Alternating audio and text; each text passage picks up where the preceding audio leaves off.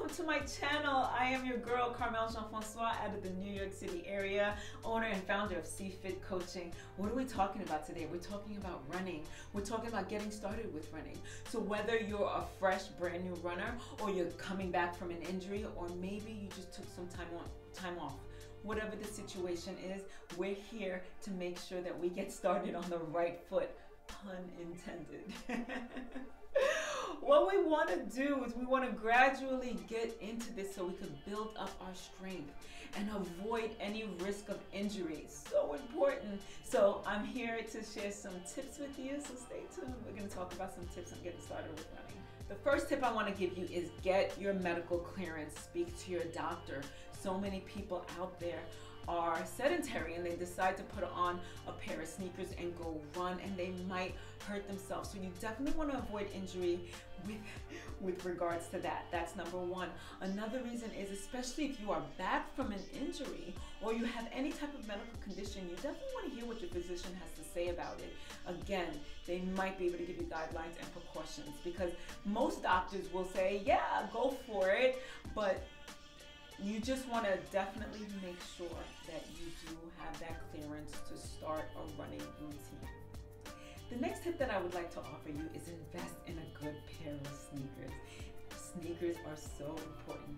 Some people need more support in the foot than others, but it would be a good thing for you to go check. Some sneaker stores offer a service where they actually watch your gait and they know whether you pronate or supinate and that just means which direction your foot tends to go in as you walk or run. And they'll be able to offer you the sneakers that offer you the most support so that the rest of your joints are all supported. Your ankles your knees your hips are all supported while you run. So important. So check that out for sure. And the next thing I would like to offer you is stay safe. Now that's twofold. One way is to stay safe. If you're running when it's a little darker out, make sure you're wearing bright colors so people can see you. Make sure that you let people know. If you're running by yourself, make sure you let the folks around you know where you'll be and whatever route you have. Some of these devices, these apps that track your that track your course or your route, they also offer real time for other people that are following you. I used to tell my sister, hey, listen, take, take a look at this app and you'll see exactly where I am on my route. So that's one way. Um, if you're listening with headphones, just don't blare them too loudly in your ears so that you want to you want to be able to hear and be cognizant of what's happening around you as you run because I know for me it's easy for me to get lost in my run and then I'm not aware of anything that's around me. If you are in a safe environment and if it's nice and bright out, then that's something that you could just allow to happen. But if it's a little darker or maybe not so many people are, are around or maybe it's just not as safe as the neighborhood as you would want it to be, then you definitely want to either leave the headphones, earphones, earplugs, whatever you want to call them at home and definitely pay more attention or, you know, lower the volume and pay more attention to what's going around you. The other thing I would like to offer as far as stay safe is injury prevention. injury prevention. So you want to warm up before you go out for your run. You want to make sure that the blood is flowing, that the blood is warm, so that you don't go out too quickly and again risk injury. So definitely make sure that that happens. And when you're done with the run, a, a stretch and some calming exercises will help. Breathing will always help as you just kind of like lower the heart rate and lower the intensity of your workout so that the body really comes back into um, a natural state. And during your runs, you might want to carry water with you for hydration. Make sure that you're not overheating, especially in the summer. And you want to make sure that you have identification on you when you run. God forbid anything happens you should be easily identifiable. So definitely carry your identification with you.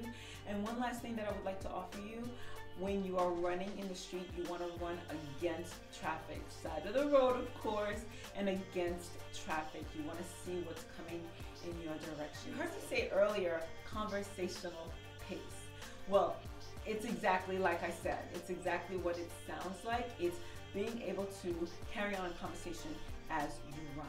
But what I would like to offer you is RPE, rate of perceived exertion. And what that means is the perceived exertion, my perceived exertion, as far as my running is concerned. It RPE will be different from every individual. My RPE could be very, very high on the scale if I'm running with somebody and I'm working hard to keep up with them and they're just kind of like strolling along because they're a more advanced runner. So RPEs go from a rate of 0 to 10. Zero meaning I'm sitting on the couch and I'm really not exerting anything at all at the current moment. One to two is maybe taking a stroll. Very easy, no taxing, nothing. Um, three to four would be I'm now moving and I'm definitely able to keep up a conversation the entire time. It's not even a second thought. Five to six is carrying on conversation, but I feel it. Like I feel it. It's like every once in a while I'm taking a break and from talking, but I'm still carrying on this conversation. Seven to eight is I can barely finish a sentence, maybe even a thought right? Um, so seven to eight, I'm definitely building up my, my, my run. I'm a little bit out of breath, right? And I'm a little bit more focused on my run because it's like I can't talk to you right now. Nine is there's no conversation happening. I'm definitely focused on my run. I'm trying to um, save all my energy for my run, the inhaling and the exhaling. No conversation is happening at the RPE of nine. RPE of 10 is an all out sprint, and that's all that can be taking place at that particular moment in time.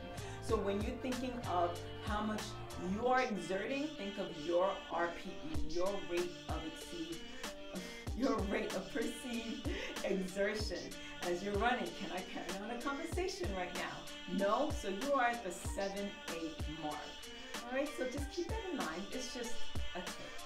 Thanks for joining me as we discuss running and getting started to run. I would love if you like, comment, subscribe, and share this channel out to the people that you know. It would mean everything to me. And join me back. We have two more parts in this series to go over and how to get started on running. So see you then.